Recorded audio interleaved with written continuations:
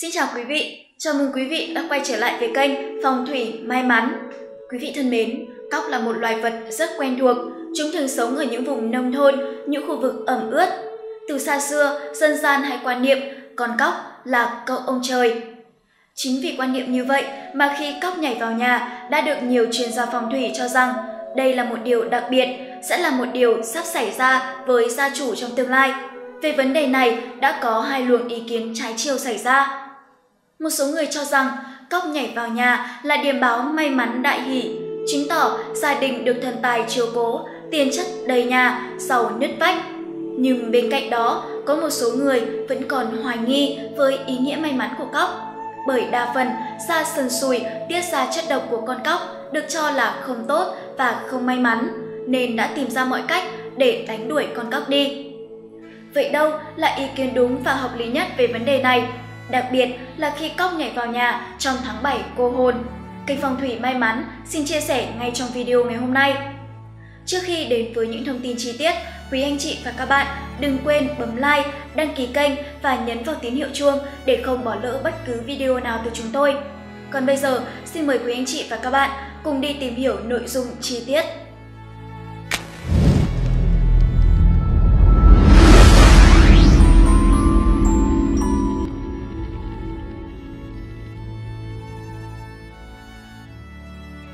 Vị có thắc mắc vì sao một loài vật nhỏ với bề ngoài thô kệch lại được gọi với cái tên rất oai phong và lẫm liệt, cậu ông trời?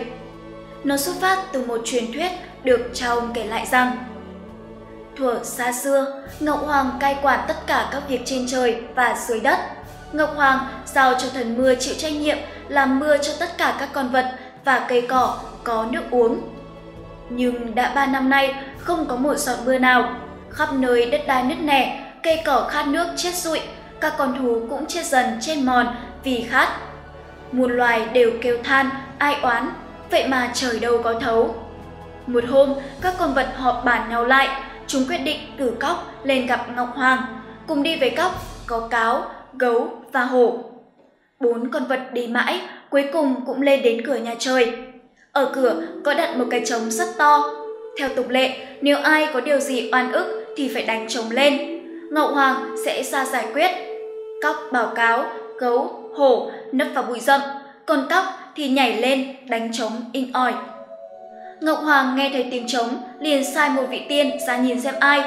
Vị tiên bước ra nhìn ngược, nhìn xuôi mãi không thấy ai, chỉ thấy con cóc bé nhỏ ngồi trên trống.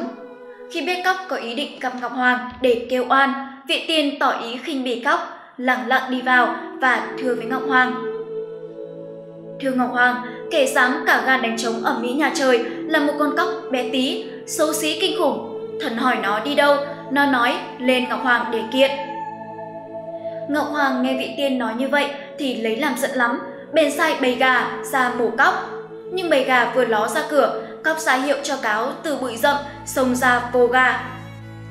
Biết gà bị cáo vô mất, Ngọc Hoàng liền sai chó ra giết cáo. Chó chạy ra, chỉ kịp sủa gâu gâu gâu mấy tiếng đã bị gấu ra chụp lấy tha đi. Ngọc Hoàng lại sai một toàn lính ra trị gấu. Lần này, hổ xông ra quật chết toàn lính, không còn sót một người nào. Ngọc Hoàng không ngờ cóc tuy bé nhỏ mà lại khó trị như vậy. Ngọc Hoàng sai vị tiên ra mời cóc vào. Ngọc Hoàng hỏi cóc, Cậu lên đây có việc gì? Cóc thưa, Muôn tàu Ngọc Hoàng, đã ba năm nay chúng tôi không có một giọt mưa nào. Loài vật cử tôi lên đây để kiện trời, vì sao không làm mưa? Ngọc Hoàng cho gọi thần mưa đến. Té ra, thần mưa mải rong chơi, tối về đắp chiếu nằm ngủ, quên không làm mưa, bị Ngọc Hoàng trách mắng. Thần mưa vội sai con rồng, phun nước ao ao xuống đất. Ngọc Hoàng đưa tiện cóc ra về và dặn. Từ nay về sau, nếu cần mưa thì cóc nghiến răng kèn két báo cho Ngọc Hoàng biết, ta sẽ sai thần làm mưa ngay. Cóc không phải lên trời kiện nữa. Cóc, cáo, gấu và hổ từ biển Ngọc Hoàng trở về dưới đất. Khi bốn con vật về đến nơi thì thấy nước đã tràn đầy hồ, ao, sông suối, cây cỏ, muôn loài được uống nước thỏa thê. Tất cả đều phục cóc bé tí mà kiện được ông trời nên đã đặt ra câu hát. Còn cóc là cậu ông trời, hệ ai đánh cóc thì trời đánh cho. Câu nói này được truyền từ đời này sang đời khác Thỉnh thoảng trời mưa, thường thấy cóc nhảy lên bờ. Dân gian cho rằng đó là bởi cóc đi kiện ông trời nên mới có mưa gieo xuống. Quay trở lại với câu hỏi, cóc nhảy vào nhà tháng 7 là điểm báo gì? Xui xẻo hay tài lộc trời cho? Các chuyên gia phong thủy lý giải rằng, trong từng trường hợp khác nhau cũng như từng cách bạn xử lý khi cóc nhảy vào nhà sẽ quyết định là may mắn hay xui xẻo. Hãy cùng chúng tôi tìm hiểu ngay sau đây. Trường hợp thứ nhất, cóc đen nhảy vào nhà. Nhiều người nghĩ cóc đen vào nhà, sống như mèo hoang vào nhà sẽ mang đến điểm dữ, không may mắn, do đó nên xua đuổi. Tuy nhiên, đây là sai lầm. Đừng vội thấy hình ảnh đen thui, xấu xí của con cóc mà cho rằng nó là con vật mang đến xui xẻo. Hơn hết, nó lại là một hiện tượng mang đến điểm tốt lành. Theo nhiều tài liệu phong thủy đã được thu thập lại, thì nếu cóc đen nhảy vào nhà sẽ mang đến những điểm báo tốt lành cho gia chủ. Sự xuất hiện bất ngờ của cóc đen trong ngôi nhà bạn cũng sẽ dự báo cho gia đình sắp có hỷ sự hay những thành công mà bất cứ ai trong gia đình cũng có thể có được. Trường hợp thứ hai, cóc vàng nhảy vào nhà. Cóc vàng là loài rất hiếm gặp. Hơn hết, hình ảnh cóc vàng trong phong thủy nó là vật mang đến sự may mắn. Chính vì vậy, khi cóc vàng nhảy vào nhà, bạn đừng vội xua đuổi nó đi và hãy để cóc tự nhảy đâu đó trong ngôi nhà của mình rồi nó sẽ tự đi. Cóc vàng vào nhà là một điểm báo rất may mắn. Cho biết trong tương lai sắp đến, bạn sẽ khá là may mắn trong công việc. Mọi thứ dường như đến với bạn một cách suôn sẻ, sau đó sẽ gặt hái được nhiều thành tựu to lớn. Hoặc bạn là người kinh doanh thì khá thuận buồm xuôi gió, thu được lợi nhuận cao. Trường hợp thứ ba, hai con cóc nhảy vào nhà. Nếu có hai con cóc cùng nhảy vào nhà và thực hiện việc bắt ruồi mũi trong gia đình thì đã chỉ ra điểm báo rằng sắp tới có thể bạn sẽ có được một người nào đó giúp đỡ rất lớn trong công việc làm ăn. Bạn có thể sẽ dễ dàng hạ gục tất cả các đối thủ đi đến những thành công lớn hơn nữa. Ngoài ra, hai con cóc nhảy vào nhà, chắc chắn đây là một cóc đực và một cóc cái, nó còn tượng trưng cho tình yêu. Cho thấy tình cảm của hai bạn khá là hạnh phúc, nếu có trục trặc, mâu thuẫn cũng sẽ nhanh chóng vượt qua hoặc quay về bên nhau, vậy thì đừng quá lo lắng. Trường hợp thứ tư, cóc nhảy vào nhà và bị đuổi đánh. Người ta thường bảo con cóc là cậu ông trời, vì vậy khi thấy cóc vào nhà mà chúng ta lỡ xua đuổi hoặc làm hại nó thì bạn đang làm hại chính mình. Có thể sắp đến, bạn sẽ gặp những bất trắc trong vấn đề giao tiếp xã hội. Sự nghi ngờ của bạn có thể đánh mất đi những người bạn luôn mong muốn hợp tác và giúp đỡ bạn. Nếu bắt gặp cóc nhảy vào nhà thì chúng ta cứ để cóc nhảy rồi cóc sẽ tự ra khỏi nhà. Đừng nên đánh đuổi mà rước họa vào thân.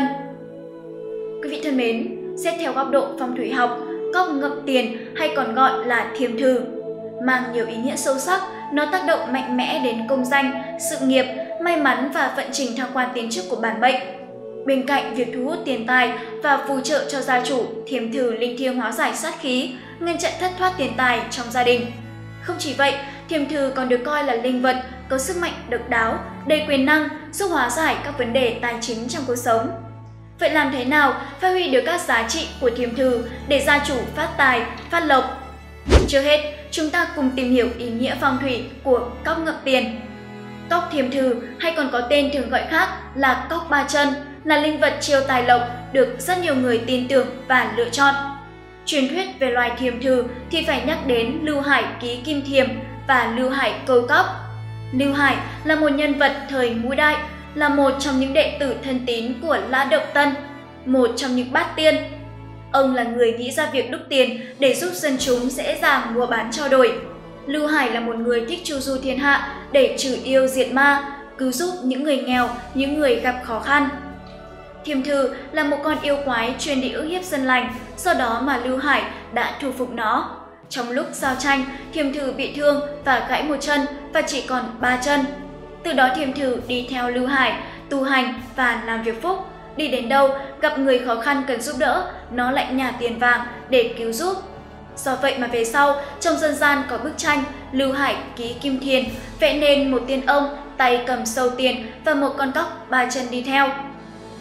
Người ta nhận thấy rằng khi có thiềm thử xuất hiện vào đêm trăng tròn ở gần nhà thì đó là sự báo tin cho gia chủ sẽ nhận được sự giàu có, phú quý. Vì vậy, cóc ngậm tiền được người đời tôn xưng là con vật quý, biểu tượng cho vượng tài, Thiềm thư còn giúp gia chủ ngăn chặn các vật xấu liên quan đến việc thất thoát tiền bạc. Thiềm thư ba chân nên đặt hai bên cửa chính với miệng hướng chéo vào nhà, giống như đang ngậm tiền đem về nhà cho gia chủ.